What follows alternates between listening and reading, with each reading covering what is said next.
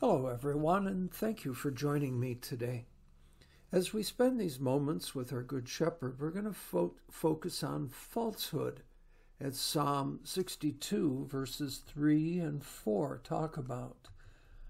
How long will all of you attack a man to batter him, like a leaning wall, a tottering fence?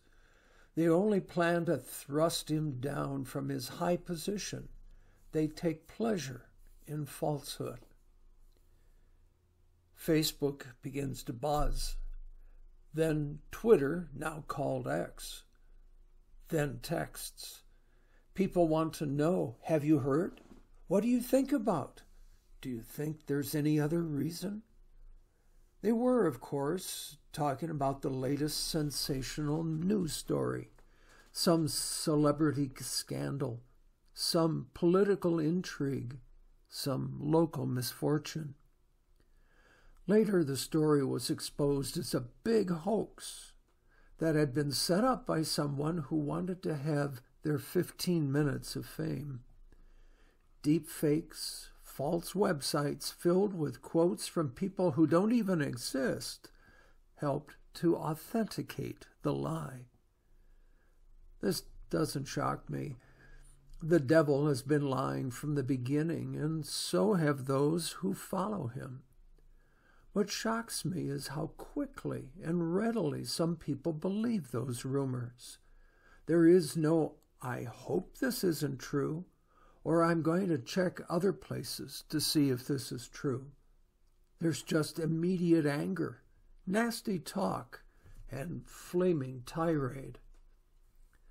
Apparently, Luther had a better grasp of human nature.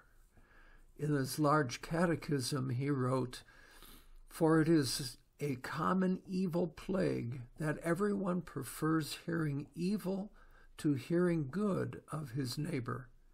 And though we ourselves are so bad that we cannot suffer that anyone should say anything bad about us, but everyone would much rather that all the world would speak in, of him in terms of gold. Yet we cannot bear the best is spoken about others.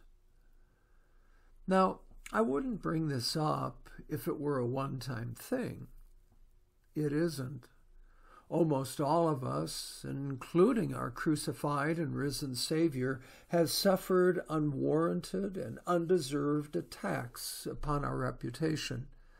As Luther said, it's a common evil.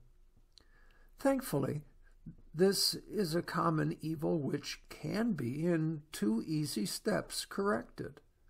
First, we honor the Savior by not spreading stories about others. And second, we glorify the Christ by refusing to listen to such stories when they're being reported.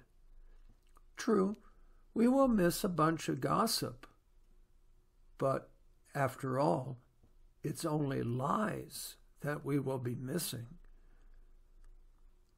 We pray together. Dear Lord Jesus, when you were on trial, they brought in false witnesses about you. I give thanks that none of those witnesses could come up with any negative fact that would tarnish your perfect life. Grant that we, your followers, may avoid sharing and listening to rumors about others. I ask this in your name. Amen. Well, my friends, Listen only to the truth. Close your ears and your mouth to gossip, and in that way glorify your Lord.